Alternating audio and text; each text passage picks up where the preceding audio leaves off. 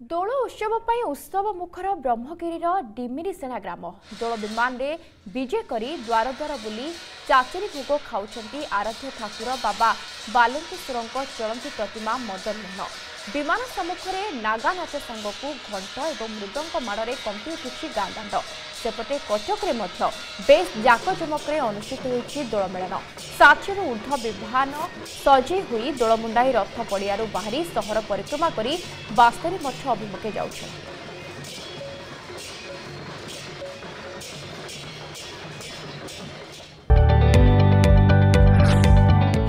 जदि आपण को आम भिडी भल लगा तेब आम चेल्क लाइक सेयार और सब्सक्राइब करने को जमा भी बुलां नहीं।